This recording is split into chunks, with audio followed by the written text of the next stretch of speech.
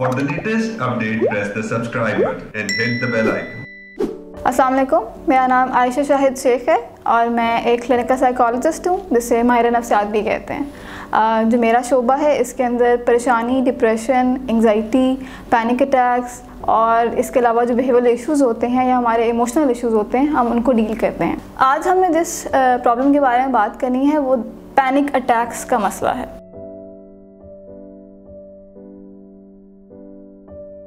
Panic attacks का मसला जो है, बहुत से लोग इसके बारे में जानते हैं या सुना होगा, लेकिन इसके बारे में बहुत ज़्यादा अवेयरनेस नहीं है, जिसकी वजह से आज हम इसके ऊपर बात करेंगे या इसके ऊपर रोशनी डालेंगे।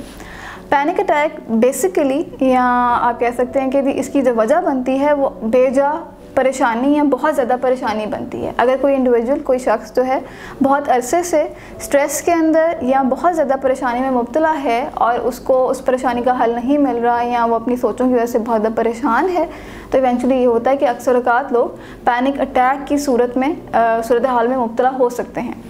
पैनिक अटैक की जो सूरत हाल है। ये दरअसल एक बहुत ही ज़्यादा खौफनाक सूरत हाल होती है उस बंदे के लिए जिसको पैनिक अटैक हो रहा हो रहा होता है। पैनिक अटैक के सिम्टम्स जो हैं, बहुत ज़्यादा हार्ट अटैक से मिलते जुलते होते हैं, जिसकी वजह से लोग बहुत ज़्यादा घबरा जाते हैं और उनको लगता है कि अब ज़िंदगी जो है ख़त्म होने वाली है।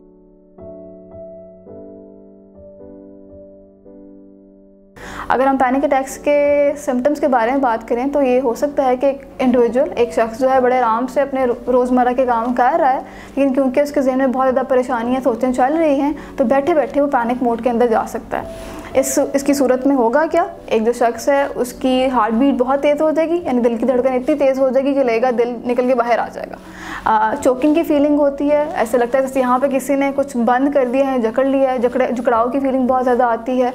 इसके अलावा लोगों का जो बॉडी है, वो ट्रैवल करने लग जाती है, यानी पूरी बॉडी कांपना शुरू कर देगी। नोज़िया होता है, चक्कर आना शुरू हो जाते हैं। सर पे एकदम से बहुत ज़्यादा भारीपन महसूस होता है और इसी के साथ साथ बहुत ज़्यादा जकड़ जकड़ने वाला एक जो दर्द होता है वो भी लोग महसूस करते हैं। इसी के अलावा अगर हम एक और चीज़ के बारे में बात करें वो होती है ब्लड विजन लोग, लोगों को अक्सर का धुंधला नज़र आने लग जाता है जिसकी वजह से उनको लगता है कि पता नहीं प्रॉब्लम जो है वो बहुत ज़्यादा बढ़ गई है।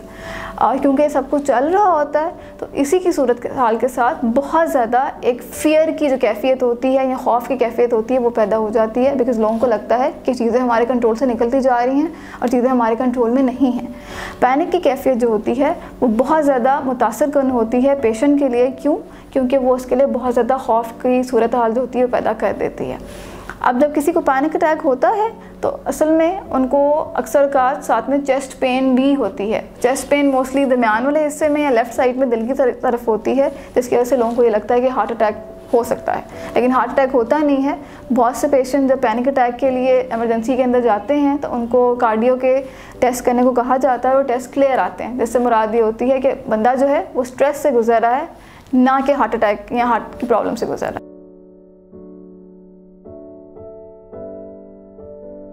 अगर हम खौफ की बात करें तो उसमें ये होता है कि जब एक बंदे को पैनिक अटैक हो जाता है तो उसके बाद उसकी खौफ की कैफियत बढ़ती जाती है।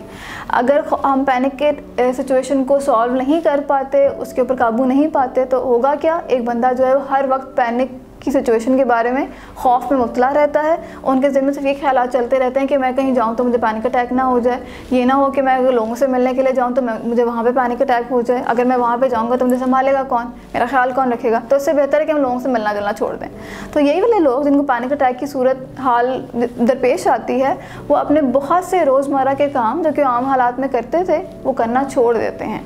क्यों? सिर्फ़ इस वजह से क्योंकि उनको खौफ होता है कि कहीं अगर हमें पैनिक अटैक हुआ तो हमें संभालेगा कौन? क्योंकि पैनिक अटैक अपने साथ एक लॉस ऑफ़ कंट्रोल की फीलिंग लेकर आती है।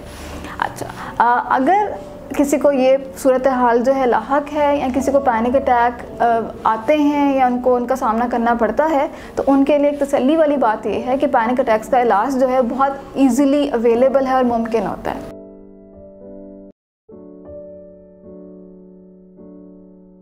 इसके लिए सिर्फ़ ये ज़रूरी है कि आप किसी माहिर नफ्सियात के पास या जो माहिर है पैनिक अटैक्स को सॉल्व करने के लिए उसके पास जाएँ, उससे बात करें और थेरेपी के ज़रिए अपनी प्रॉब्लम पर कंट्रोल करने की कोशिश करें। पैनिक अटैक मोस्टली इसलिए हो रहा होता है बिकॉज़ एक इंडिविजुअल जो है बड़े अरसे से सोचों में, सोचों की प्रॉब्लम में मुबतला होता है स्ट्रेस में मुबतला होता है, या अपनी लाइफ के अंदर रिलैक्स नहीं फील कर रहा होता। तो जब आप साइकोलॉजिस्ट के पास जाते हैं तो सबसे पहले आपको पैनिक अटैक के ऊपर काबू करने के लिए थेरेपीज़ बताते हैं, जिससे पैनिक अटैक फ़ौरन से कम होना शुरू होते हैं और उनमें तकरीबन 90 टू 80 परसेंट जो होता है, उसमें कमी आ जाती है। उसके बाद जो साइकोलॉजिस्ट है, वो आपको आपकी जो अंडरलाइन प्रॉब्लम है, जिसकी वजह से पैनिक अकर कर रहा है या परेशानी की कैफियत बरकरार है, उसके ऊपर काम करने में हेल्प करते हैं। और इवेंचुअली एक इंडिविजुअल काम करके इस चीज़ से बाहर आ जाता है। बहुत ज़्यादा सवेर सूरत हाल के अंदर अगर फ़र्ज़ करें पैनिक अटैक जो है, इतना तंग कर रहे हैं कि इंडिविजुअल जो है, बहुत ज़्यादा स्ट्रेस में जा रहा है तो उस केस के अंदर साइकेट्रिस्ट जो हैं पेशेंट को दवाई भी देते हैं, जिससे रिलैक्सेशन आती है और पैनिक अटैक में काबू पाया जा सकता है। अगर आप इस साइकोलॉजिस्ट के पास जाते हैं और वो ये मुनासिब समझता है कि आपको साइकेट्रिस्ट की भी ज़रूरत है तो वो आपको रेफ़र कर देते हैं। तो अगर आप में से कोई भी पैनिक अटैक से गुजर रहा है या इस तरह के सिम्टम्स जो है फील कर रहा है तो उनके लिए मेरा ये मशवरा है कि अपने करीबी माहिर नफ्सात के पास जाइए, उनसे अपनी बात जो है डिस्कस कीजिए और अपनी प्रॉब्लम को सॉल्व करने के लिए कोशिश कीजिए बिकॉज़ ये प्रॉब्लम जो है वो सॉल्वेबल है, इसका हल मुमकिन है और बड़ी आसानी से हल हो जाता है। एक दफ़ा आपको समझ आ जाए कि मुझे पैनिक हो क्यों रहा है। अगर आपको पैनिक अटैक्स का सामना है और आप इसका इलाज कराना चाह रहे हैं तो आप मरहम के प्लेटफॉर्म से मेरे साथ ऑनलाइन बुकिंग करा सकते हैं या क्लिनिक पे आके मेरा टाइम ले सकते हैं और हम दोनों मिलकर आपकी प्रॉब्लम के ऊपर काम करके उसके हल की तरफ़ जा सकते हैं। Thank you very much